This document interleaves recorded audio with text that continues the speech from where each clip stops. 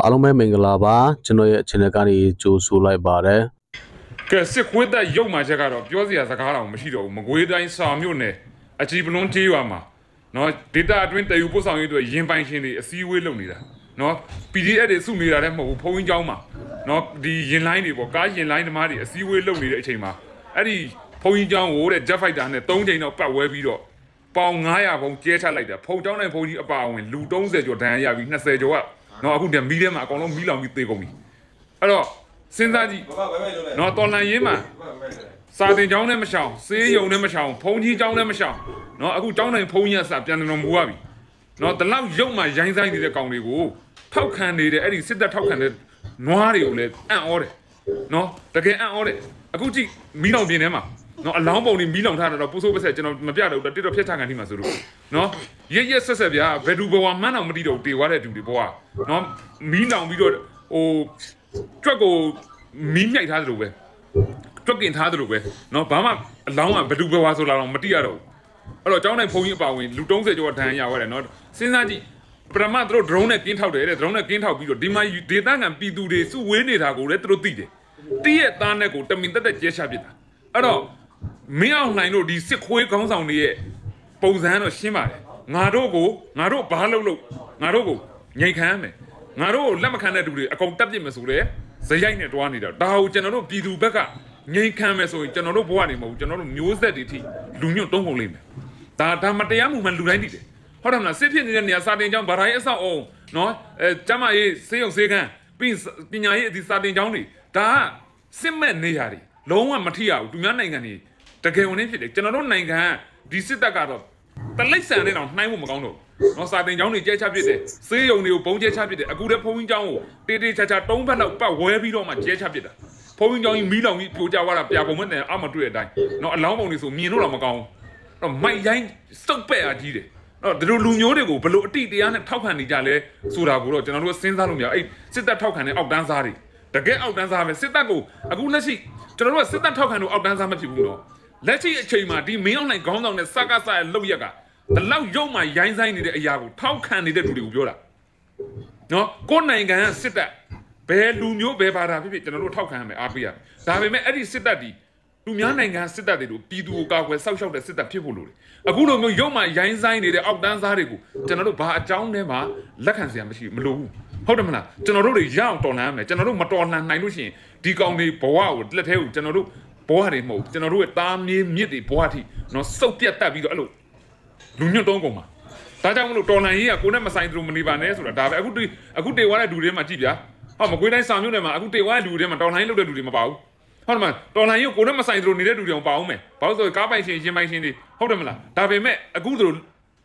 ရုပ်မာတဲ့လောက်ရအောင်မှာသူတို့လည်းဘဝတွေပေးစားရတယ်အသက်တွေပေးစားရတယ်အဲ့တော့နိုင်ငံရေးဆိုတာကိုနဲ့ဆိုင်တာမဆိုင်ဘူးဆိုအဲ့ဒါတွေအသက်တွေပဲနော် ကိုအိမ်အခုဒီလူတွေထဲမှာတော်လှန်ရေးကိုမဆိုင်သလိုနေခဲ့တယ်အခုဖုံးချောင်းဘုံကျဲချရတဲ့ကြတော့တေဝါရတယ်အဲ့တော့နိုင်ငံရေးဆိုတော့ကိုနဲ့မဆိုင်သလိုနေမဲ့လူတွေနဲ့တကယ်ဖြစ်လာလို့ရှိရင်ထိခိုက်နေတာပဲအဲ့တော့ကျွန်တော်တို့ကကိုနဲ့မဆိုင်သလိုနေကြမှာဒီပြဿနာကြီးကိုခက်မြန်ပြီးပြတ်အောင်လုံနိုင်တဲ့နေရာကဝိုင်းလုံကြမလားဆိုတော့ကိုလုံကြံတက်ဖြတ်ဖို့စူးစမ်းတာတွေသာမက နေပြည်တော်ကိုဒရုန်းတွေဒုံးကြီးတွေနဲ့တိုက်ခိုက်မှာကိုအမြဲစိုးရိမ်နေပြီးမြန်မာနိုင်ငံရဲ့အပူလောင်ဆုံးထိပ်တန်းဗိုလ်ချုပ်မင်းအောင်လှိုင်ဟာစိတ်ဖိစီးမှုတားဆီးရေးစေဝါဖြစ်တဲ့အေပရာဇိုလန်ကိုညာတိုင်းတောက်နေရတယ်ဆိုတော့ကောလာဟာလာတွေထွက်နေပါတယ်သူ့ကိုလုံကြံတက်ဖြတ်မှာဒါမှမဟုတ်အာနာကဖယ်ရှားခံရမှာကိုကြောက်လန့်နေတယ်လို့နေပြည်တော်စစ်တပ်သတင်းရင်းမြစ်တွေကပြောပါတယ်ဧပြီလပထမပတ်မှာ ဒရုန်းတွေနဲ့လေဒတ်စကန်စစ်ဌာနချုပ်မင်းအောင်လှိုင်ရဲ့နေအိမ်တွေကိုပြစ်မှတ်ထားပြီးနေပြည်တော်ကိုတိုက်ခိုက်ပါတယ်ဒရုန်းတွေကိုရားဖြတ်ဟန်တားခဲ့ကြောင်းပြေးလန်းပေါ်မှာပောက်ကွဲတဲ့ဒရုန်းတစ်စင်းအပါအဝင်ခုနှစ်စင်းကိုပစ်ချခဲ့ကြောင်းထိခိုက်သေးဆုံးမှုမရှိကြောင်းစစ်ကောင်စီကပြောပါတယ်ဒါပေမဲ့တိုက်ခိုက်မှုဟာစစ်ကောင်းဆောင်တွေရဲ့လုံခြုံရေးကိုစိတ်ဓာတ်ပိုင်းအရထိုးနှက်ချက်တစ်ခုဖြစ်ခဲ့ပါတယ်နေပြည်တော်ဆိုတာအဆောင်တွေအကြီးကျယ်ချထားပြီး တနိုင်ငံလုံးမှာဖြစ်တဲ့တိုက်ပွဲတွေကနေကာကွယ်ထားတဲ့နေရာပါအဓိကကြားတဲ့ဝန်ကြီးဌာနတွေစစ်ရုံးချုပ်တွေနဲ့စစ်ကောင်းဆောင်တွေရဲ့နေအိမ်တွေကိုဒီကြောင်းကာကွယ်ရေးစနစ်တွေတပ်ဆင်ထားတယ်လို့ယူဆရပါတယ်ဒီလိုဆိုရင်နေပြည်တော်လေပိုင်နက်ကိုဒရုန်းတွေဘလို့ထိုးဖောက်ဝင်ရောက်လာပါသလဲဧပြီလဒုတိယပတ်ကမြမရိုးရာတကြံပွဲကျင်းပနေချိန်စစ်တပ်ကတော်တွေရှိတဲ့ပြင်ဦးလွေမြို့ကိုရှော့တိုက်ဒုံးတွေနဲ့တိုက်ခိုက်ပါတယ် စစ်တပ်ကတော်ကဘိုးလောင်းတွေအပါအဝင်၄ဦးသေဆုံးပြီး12ဦးဒဏ်ရာရတယ်လို့စစ်ကောင်စီကဝန်ခံပါတယ်ဒါပေမဲ့မဖော်ပြခဲ့တဲ့သတင်းတစ်ခုမှာဒုံးကြီးတစ်စင်းဟာမင်းအောင်လှိုင်နဲ့သူ့မိသားစုတဲကုန်နေတဲ့အိမ်ပေါ်ကိုကျခဲ့ပါတယ်အဲ့ဒီအချိန်ကသူတို့ဟာတဲကိုရအိမ်မှာရှိမရှိမသိရပေမဲ့လည်းအတော်တုန်လှုပ်သွားကြတယ်လို့နီးစပ်တဲ့သတင်းရင်းမြစ်တွေကဆိုပါတယ်ပြင်ဦးလင်တကြံပွဲဆင်နွှဲဖို့စီစဉ်ထားတဲ့စစ်ကောင်းဆောင်မင်းအောင်လှိုင်ဟာ နောက်နေ့မှာပျောက်ကွယ်သွားပြီးသူ့ဇနီးဒေါ်ကျူကျူလှနဲ့သူ့ရဲ့လုံခြုံရေးတွေကိုပဲတကြံပွဲတက်ရောက်စေခဲ့ပါတယ်စစ်ကောင်းဆောင်ကတော့စစ်ကောင်စီတပ်တွေအများအပြားရှိပြီးမြန်မာလေတပ်အလဲပိုင်းဌာနချုပ်ဖြစ်တဲ့မိထီလာလေတပ်ကိုတွားတယ်လို့သိရပါတယ်လူမြင်ကွင်းကနေမကြာခဏပျောက်ကွယ်နေတာဟာစစ်ကောင်းဆောင်မင်းအောင်လှိုင်တယောက်တည်းမဟုတ်ပါဘူးဒုစစ်ကောင်းဆောင်စိုးဝင်းဟာလည်းဧပြီ3ရက်နေ့ ရှမ်းပြည်တောင်ပိုင်းဘာထူးမြို့ကိုတွားခဲ့ပြီးတဲ့နောက်တလလောက်ပျောက်သွားပြီးဧပြီ29ရက်ကြာမှပြန်ပေါ်လာပါတယ်အတီမပြုတ်နိုင်သေးတဲ့သတင်းတွေအရဧပြီ9ရက်မွန်ပြည်နယ်မော်လမြိုင်အရှိတောင်တိုင်းစစ်ဌာနချုပ်ကိုတော်လိုင်းရေးတပ်ဖွဲ့တွေကဒရုန်းနဲ့တိုက်ခိုက်လို့ဒုစစ်ကောင်းဆောင်ဒဏ်ရာရတယ်လို့သိရပါတယ်စိုးဝင်းနဲ့ရန်ကုန်တိုင်းတိုင်းမှုဟောင်းဒုဗိုလ်ချုပ်ကြီးညွန့်ဝင်းဆွေအပါအဝင်စစ်တပ်အစစ်မြင့်အရာရှိတွေဟာထိုင်းနယ်စပ်ကုံသွယ်ရေးမြဝတီမြို့ကို တော်လိုင်းအင်အားစုတွေစီကနေဘလို့ကာကွယ်ကြမလဲဆိုတာဆွေးနွေးနေတော့ပြစ်မှတ်ထားတိုက်ခိုက်ခံရတာပါဒရုန်းတိုက်ခိုက်မှုကြောင့်ဒုစစ်ကောင်းဆောင်ဒဏ်ရာရပြီးစေဝါကုသမှုခံယူရတယ်ဆိုတဲ့သတင်းကို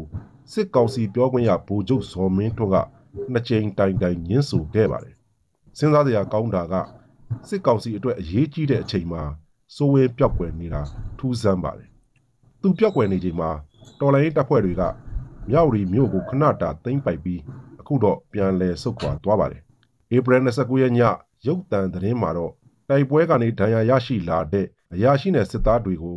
ဒုစစ်ကောင်းဆောင်စိုးဝင်းနဲ့ဒုတိယဗိုလ်ချုပ်ကြီးညွန်ဝင်းဆွေတို့ကတွေ့ဆုံပြီးဂုံယူအားပေးစကားပြောကြတဲ့အကြောင်းကိုစစ်ကောင်စီထိန်းချုပ်မီဒီယာတွေမှာဖော်ပြကြပါတယ်။သေချာတာတစ်ခုက